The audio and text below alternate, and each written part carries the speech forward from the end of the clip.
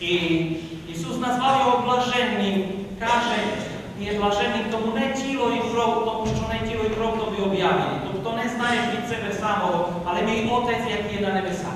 І я тобі кажу, є Петро, скела і на цій скелі побудую мою церкву.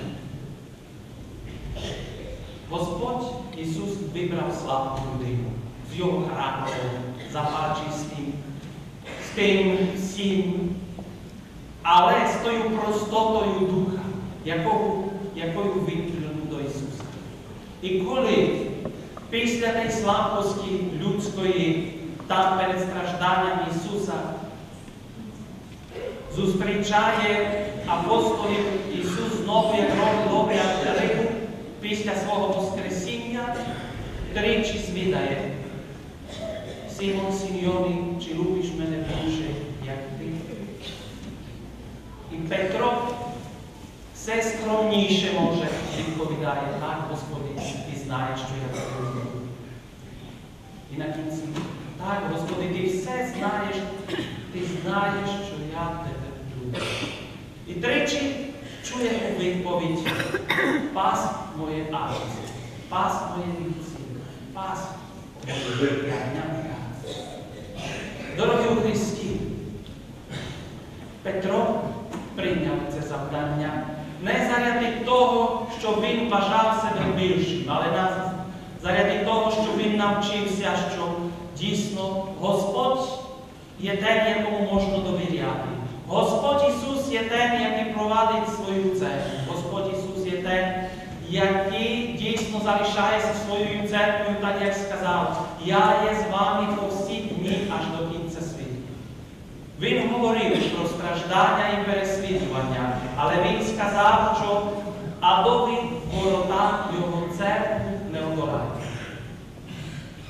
Про це забувають вороги Христової церкви, або то не чули, або не хочуть чути. Думають, що їм вдасться знищити Христову церкву. Але, дорогі Христі, ми є покликані для того, щоб ми слухали науку Ісуса. Так як Він говорить сьогодні, також що нам говорить апостола Петра. Він і сьогодні нас запевняє, щоб ми мали довір'я. Не бійся, мале стадо, тому що Отцю моєму сподобалося дати вам царство. Царство? Ісус, коли стоїть перед Пілатом, каже, моє царство не є з цього світу. Так. Царство Христа не є з цього світу. Царство Христа не опирається ні на Римської імперії, ні на Візанської, хоча вони в певному моменті прийняли християнство. Вони відійшли ні на іншої імперії цього світу. Царство Христово є в людських душах. Царство Христово є те, до якого ми є покликані належати. І це є дуже велика справа, яку нам потрібно усвідомити. Апостол Павло нам сьогодні говорить, що він не хоче нічим іншим хвастатися лише Христом, Христа розп'ятого, якому є Христос розп'ятий. І тому Він проповідує Ісуса Христа розп'ятого і Воскреслого аж до кінця. І залишив нам ті прекрасні послання, яке ми читаємо завжди на святої літургії, яке можемо читати і приватно, і потрібно, щоб ми їх читали, і щоб то Слово Боже нас наповнювало. І нам говорить Слово Боже що Бог так полюбив світ, що дав свого єдинородного сина, щоб ніхто в нього вірує не загинув, але мав життя вічне. І церква покликана бути тою, яка провадить через ці землі різні перипетії, через різні страждання і проблеми до життя вічного, яке починається тут з Господом. Тому що апостол нам говорить на іншому місці, що тим храмом Божим є мир. Це є то найважливіше, дорогі у Христі. Добре, що маємо і такий великий храм, як є цей. Але Богу дякувати, що маємо і малі церкви. Важливо, щоб в всіх тих місцях ми збиралися, відкривали наші душі для Господа і щоб Він діяв в нашому житті, щоб ми дійсно були тим живим храмом Святого Духа. Храмом Святого Духа, щоб кожен з нас був тою храміною, де прославляється святий Бог. І це є важливо. Знаєте, коли нам відібрали наші церкви, позакривали, позміняли, згаданий наш митець Йосиф Повшай користався тому, що жив у Ужгороді тою нагодою, що там була відкрита Римо-католицька церква. І він тоді ходив кожну неділю і свято до Римо-католицької церкви.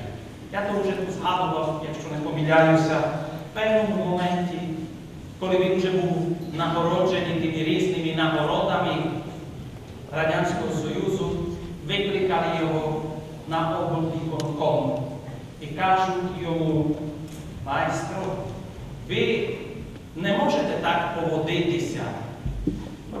Ви з такими титулами народний України, Радянського Союзу і не знаю всі титули, які мав. Ви не можете ходити до церкви. Це поганий приклад для ваших студентів. І знаєте, що відповів Йосиф Покшай? Він відповів так просто. Якщо ви так говорите, забирайте всі свої нагороди, всі вам повертаю. Але церкві я не відрекнуся. Дорогі Христі, Богу дякувати, що ми мали і в часах твердої атеїзації Радянського Союзу таких людей, які не відрекалися своєї церкви і які твердо трималися Христа. Трималися апостола Петра, слухали, як Христос учить з того човна Петра. Це дуже важливо. Знаєте, як міняться людські ідеології, як можна звинувачувати?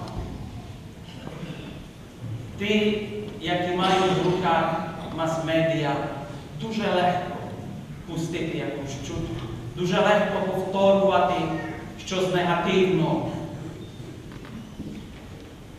Колись міністр пропаганди нацистовської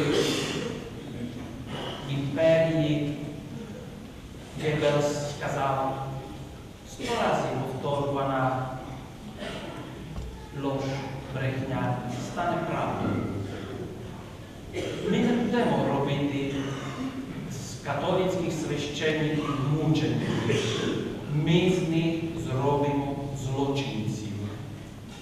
І так звинувачували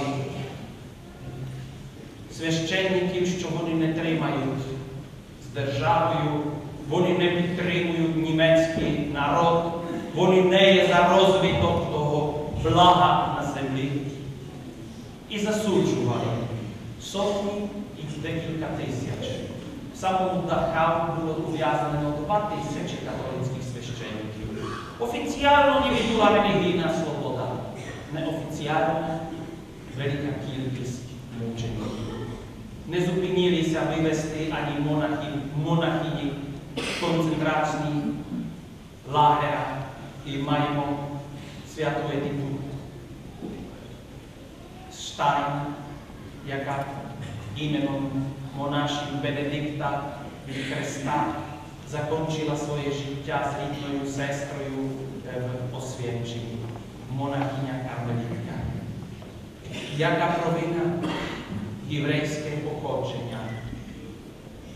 Дорогі Христі, продовженням того лиха було переслідування, яке для церкви скоїв Радянський Союз. З тисячами священників убитих всіх християнських конфесій, після війни насамперед католицької церкви, з мільйонами невинних простих lidé, jak i hynuli zajatí jakouž ideologií, s molitvou na perách, na pláte. Tak, drobní listi, bylo treba projít velikým zkušením.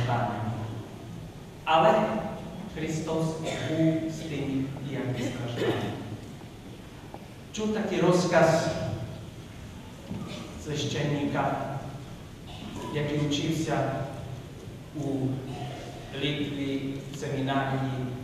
І там розказував старенький єпископ, який пройшов дуже радянським гулагом. В Сибірі вдалося, що тайно відслужив Євхаристію, святу літургію і поніс. Потім було так, що дозволили йому чимсь послали його до сусідного, сусідного лагера. І він взяв також Євхаристію, щоб уділити в'язням, які там були християнам. Вертався, залишив собі ще одну часточку і раптом темрява, буря, сніг, і він згубився. І там уже, коли видів, що немає жодної надії, молився, просив Господа, щоб йому показав. Дорогу каже, Господи, я не розумію. Тут так маю померти. Такий гарний день мені віддавався сьогодні. Хто ти побачив одне світло? Пішов за тим світлом і там хата, дім. Знайшов таку сибірську хату, більш під землею, як над землею. І це були ті, жили там люди, які були вивезені. Католики, одна, декілька сімей там було католики вивезені з України. І там умираючий старенький дід, батько та сім'я прийняла його і каже, Господи, скільки ми молилися, і наш батько вмирає без священника, тут далеко, без святих тайн. Як він почитав серце Ісуса, і так має померти. І тоді цей дід каже, люди добрі, я вже зараз розумію, в чому я заблукав, в чому я майже тут загинув. Мене Господь послав. Я є священник, я маю з собою святу Євхаристію. Можете уявити собі радість цих людей, які прославляли Господа за те, що в такій важкій хвилі, в такому моменті Ісус в святих дарах прийшов до їхнього батька. Так можна сказати, Господь є присутний, Господь є і тоді, коли людина молиться, Господь є, можемо до нього звертатися. Але, дорогі Христі, і це був знак того, що Він на чудовий спосіб супроводжує своїх винних. Зараз поуявляти немає таких перешкод. Можна покликати спокійно священника до хворого. Деколи, знаєте, яка буває перешкода? Людські огляди. Деколи люди кажуть, а що священника запросити? Та буде боятися, що він уже вмирає. Та він іще не вмирає. Чому маємо кликати священника?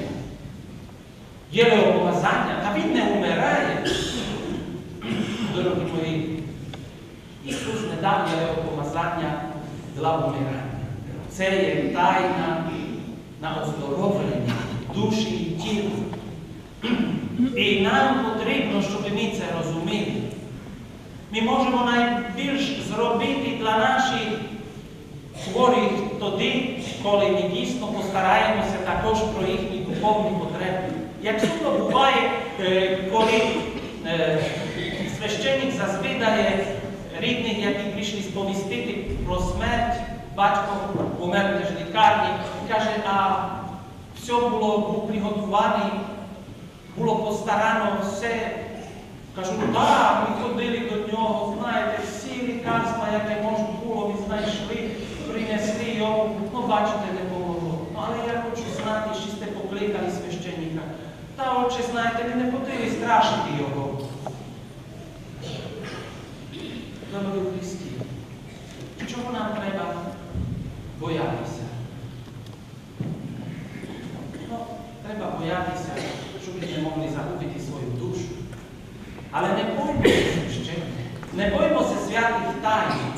Це є великий дар, який нам залишив Ісус Христос, який через церкву ми можемо і маємо прийняти. Заохочуємо наших хворих до того, щоб вони укріплялися в хворобі святими тайнами. Я бачив не одного, який уздоровився через тайну Єреопомазання. Не одного, не одну людину.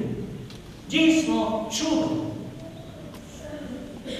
Таке, що лікарі сказали, там уже нічого. І після Єреопомазання людина прийшла не лише до свідомості, але до здоров'я. Прожив 37 років. Інші, що знають, що вже то пройшло 25 років, і він прославляє Бога. Багато випадків, дорогі у Христі. І це є дуже важливо. Не лише прийти на мирування. Це може бути аж загобона. Деколи то побачив, що люди горнуться до церкви наприкінці служби. На мирування. Є такі села, розумієте, де свято на службі небагато.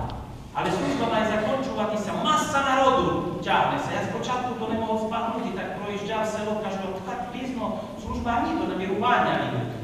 Дорогі мої, нащо до вірування? Якщо ти не поміруєш свою душу, не даєш Духу Святому, щоб дійсно наповнив тебе. Якщо ти не приміришся з Господом через тайну покаяння, не приймеш Ісуса святих дарах, тоді до мірування як може діяти? Це не є тайна. Тайна є свята літургія. Тайною є таїнство покаяння. А то все є так, як приздоблення, воно є добре.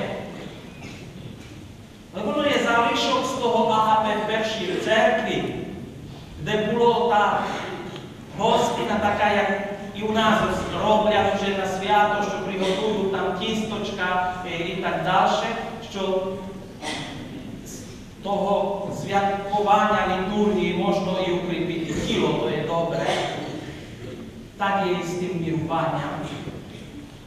Але основне є то, що є перед тим. І не можна то відкинути, не можна то байдуже пройти. Нам це потрібно переоцінити дари, які нам дійсно Ісус дав. Щоб ми їх приймали так, щоб були корисними для нашого тіла і душі. Тому що Ісус хоче, щоб ми вічно жили з ним. І так, дорогі Христі, просимо сьогодні святого Отця Миколая, щоб ми мудро розрізняли то, що є на першому плані і на другому. Щоб і то на другому плані не занедбували, але то, що на першому, щоб дійсно як першу справу прийняли. Слово Боже, літургія, свята Євхаристія, покаяння, всі ті тайні, яке маємо час